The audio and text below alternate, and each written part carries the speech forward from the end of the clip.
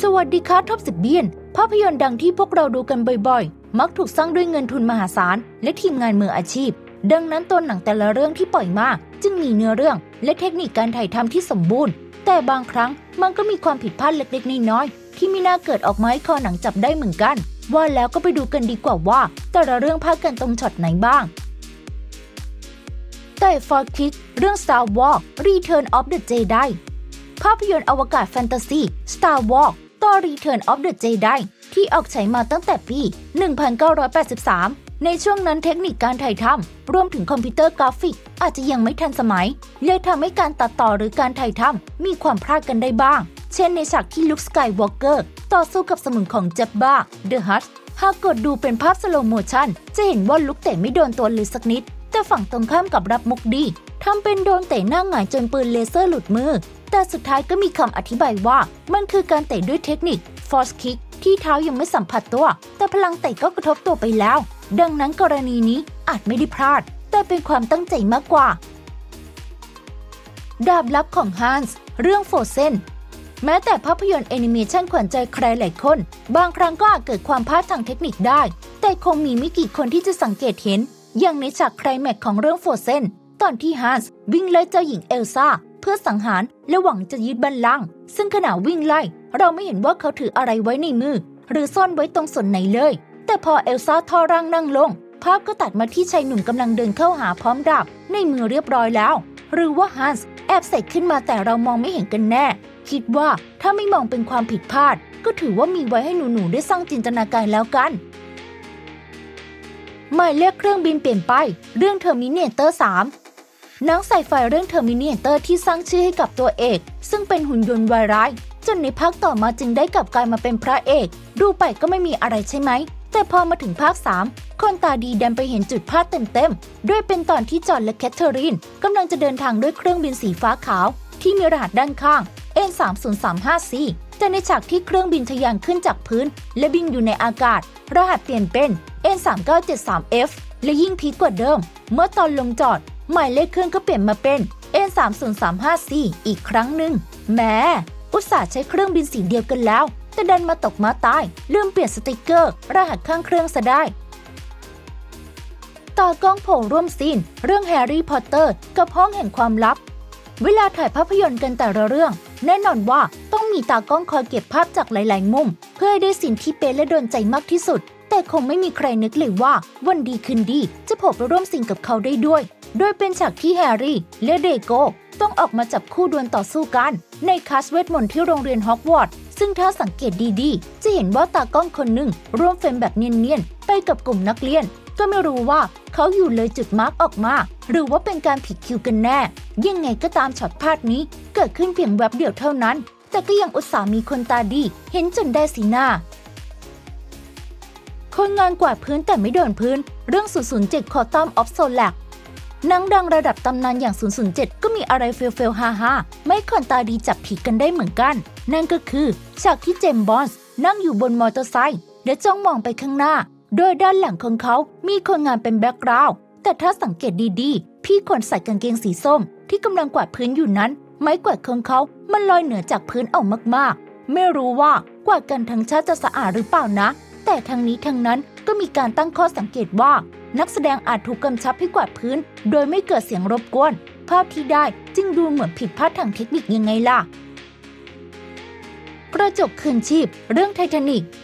แม้จะออกฉายไปเมื่อ 20 กว่าปีที่ผ่านมา ความรักของแจ็คกับโรสในเรื่องไททานิกก็ยังทำให้หลายคนเสียน้ำตา หมดทิชชู่ไปหลายกล่องได้อยู่ดี แต่มันจะซึ้งตึงใจได้สุดติ่งกว่านี้ ถ้าไม่มีคนเห็นจุดพลาดเล็กๆ ในฉากสำคัญ อย่างตอนที่โรสลงมือทุบกระจกตู้เก็บอุปกรณ์ดับเพลิงฉุกเฉินจนแตกหมดแล้วพอเธอเอื้อมมือเข้าไปหยิบขวานในฉากถัดมา ปรากฏว่ากระจกที่หายไปเกือบหมดตอนแรกคืนชีพไม่อยู่ที่เดิมเป็นส่วนใหญ่ซะนี่ รงจุดนี้คาดว่าน่าจะเกิดจากการถ่ายคนละเวลา และนำมาตัดต่อ จึงเกิดความพลาดจนได้ แต่มันก็ไม่ทำให้ความฮอตฮิตติดชาร์ตลดลงไปเลยสักนิด ถือว่าให้อภัยได้ค่ะชายสวมหมวกคาวบอย ในหมู่โจรสลัด เรื่อง Pirate of the Caribbean พูดถึงเรื่อง Pirate of the Caribbean และคงคงรู้จักกับตันแจ็คสเปโร่มากกว่าชื่อหนังซะอีก แน่นอนว่าเป็นหนังแนวโจรสลัด ทุกทีต้องมีแต่คอสตูมโจรสลัดหรือธีมเดียวกันทั้งเรื่อง แต่ในตอนท้ายเรื่อง ขณะที่กัปตันแจ็คสเปโร่กลับมารวมตัวกับสมาชิกในเรือจนสลัดของเขา ปรากฏว่ามีคนพาเหล่าคาคุนเป็นชายคนหนึ่งใส่เสื้อสีขาวสะอาดตา และสวมหมวกสไตล์คาวบอย ซึ่งดูๆไปแล้วเจ้าสลัดกับคาวบอย มันไม่น่าจะมาเจอกัน และเป็นพวกเดียวกันได้เลยด้วยซ้ำเอ๊ะ หรือว่าเขาตั้งใจโผล่มาเพื่อเราถามกันแน่นะสปริงเกอร์น้ำฝน เรื่องจูราสสิกพาร์คภาพยนตร์แนวผจญภัยที่มีไดโนเสาร์สายพันธุ์ต่าง ๆมาเดินท่อมๆให้เห็นและคนคงชื่นชอบเอามากๆ ซึ่งทั้งหมดนี้สร้างด้วยคอมพิวเตอร์กราฟิก และหุ่นจำลอง เพื่อให้พวกมันเหมือนสัตว์ดึกดำบรรพ์ที่มีชีวิตจริง ๆ แต่ก็ได้มีจุดหนึ่งที่คนตาดีทั้งหลายจับไต๋ได้ นั่นคือฉากที่ทีเร็กซ์อาละวาดอยู่ใกล้รถจี๊ปที่เด็กๆ แอบอยู่ โดยในเวลานั้นมีสายฝนโปรยลงมา แล้วเจ้าทีเร็กซ์สะบัดหัวขึ้นไปเพื่อกลืนแพะทั้งตัว เมื่อกล้องแพนตามไป ดันโป๊ะแตกตรงหัวสปริง ที่กำลังพ่นน้ำลงมาเห็นด้วยตรงสนี่แหมถ้าเหมือนเป็นการเฉลยเบื้องหลังการถ่ายทำเลยเนอะเครปแยกร่าง และต่อกันเองอัตโนมัติ เรื่อง Avenger Endgame ภาพยนตร์ซูเปอร์ฮีโร่จากค่ายมาร์เวลอย่าง Avenger มีได้ทั้งฉากต่อสู้สะบั้นหั่นแหลก ไปจนถึงนั่งรับประทานอาหารร่วมกันอย่างสงบ ซึ่งมันก็ดูเหมือนไม่มีอะไร แต่ในภาค Endgame นี่สิ ถึงกับต้องขยี้ตาแรงมาก เมื่อตอนที่ฮัลค์ กัปตันอเมริกา แอนต์แมนและแบล็กวิโดว์ทานอาหาร แล้วมีเด็กๆเข้ามาขอถ่ายรูปกับฮัลค์ ตอนแรกเครปของเขาถูกตัดแบ่งเป็น 2 ชิ้น แต่ในเฟรมต่อมา มันกลายเป็นชิ้นเดียวที่ยังไม่ถูกตัด ก่อนจะกลับมาเป็น 2 ชิ้นอีกครั้งหนึ่ง สงสัยว่าฉากที่เป็นเครปชิ้นเดียว อาจจะเป็นฉากถ่ายซ่อมภายหลัง และคนเตรียมอาจจะคนละคน ก็เลยอลเวงแบบที่เห็นเลยจ้ารอยกระสุนปืนบนผนังห้องเรื่อง Pulp Fiction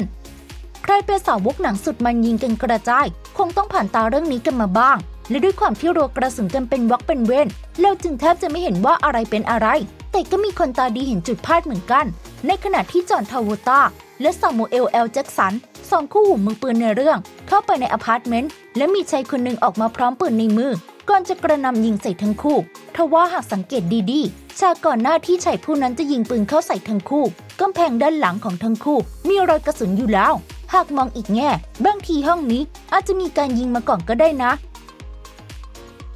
รถยนต์สีขาวหลังกองทัพ เรื่อง Braveheart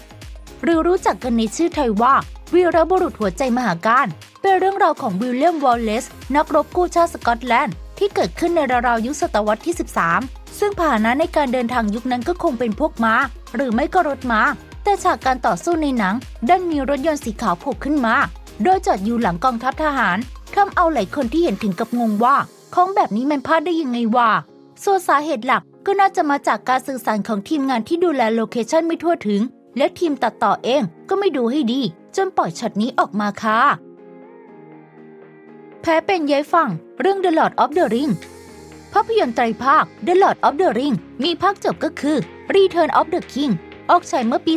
2003 โดยตัวละครในเรื่องมีอยู่หลากหลายเผ่าพันธุ์ ทั้งมนุษย์ เอลฟ์และฮอบบิทแม้เผ่าพันธุ์ฮอบบิทจะอยู่ต่ำกว่ามนุษย์ แต่โฟรโดก็ถือว่าเป็นตัวสำคัญ และสร้างความสับสนให้กับผู้ชมไม่น้อย เพราะในขณะที่โฟโดและเพื่อนพยายามเดินทางนำแหวนไปทิ้ง ครั้งแรกเขามีแผลเป็นบนใบหน้าด้านขวา แต่อยู่ๆก็ย้ายไปฝั่งซ้าย และกลับไปที่เดิมอีกรอบ ไม่รู้ว่าช่างแต่งหน้าเขาทำเอาห้าหรือว่าลืมจริง ๆ ถ้าจะให้ดี น่าจะมีแผลไปเลยทั้งหน้า จะได้หมดปัญหาแผลย้ายฝั่งนี้ล่ะ รถเข็นโผล่ขึ้นมาเอง เรื่องอวตาร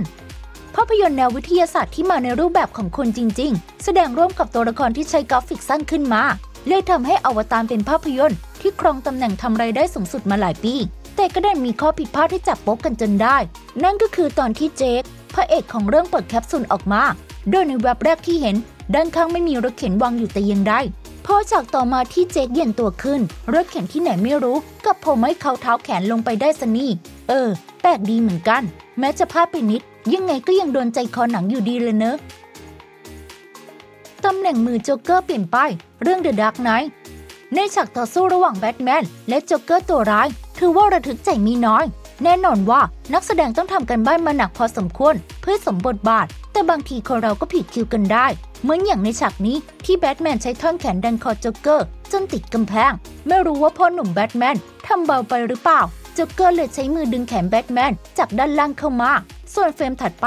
ตำแหน่งมือก็เปลี่ยนไปกดแขนอีกฝ่าย และต่อมาก็สลับลงมาดึงจากด้านล่างอีกครั้งหนึ่งหรือว่าจริงๆ แล้วเป็นความพยายามที่สลับปรับเปลี่ยนตำแหน่งมือ เพื่อมีพลัง และสร้างความได้เปรียบให้มากที่สุดก็ได้ละมั้ง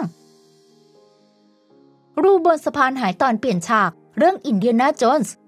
หนึ่งในฉากที่ทำให้คนดูอย่างเราๆแทบหยุดหายใจได้ทุกครั้ง ก็คือการวิ่งข้ามสะพานไม้ระหว่างหน้าผาสองฝั่ง ซึ่งมันจะไม่แปลกใจเลย หากรูบนสะพานในฉากของเรื่องอินเดียนาโจนส์ไม่หายไปเองในเสี้ยวนาที โดยเป็นตอนที่เด็กคนหนึ่งวิ่งข้ามสะพานไม้ ขย่มเล่นจนมันชำรุด ไม้หักเป็นรู และตัวเด็กหลุดทะลุลงไปเกือบตกสะพาน เมื่อถูกช่วยขึ้นมา จะเห็นว่าสะพานยังทะลุเป็นรูโหว่อยู่ แต่ในฉากถัดมาที่อินเดียนาโจนส์และผู้ร้ายเดินขึ้นมาบนสะพานอีกครั้ง รอยโหว่เมื่อกี้กับไม่มีแล้ว เอาแบบนี้ก็ได้ด้วย สงสัยทีมงานจะซ่อมสะพานเร็วไปหน่อย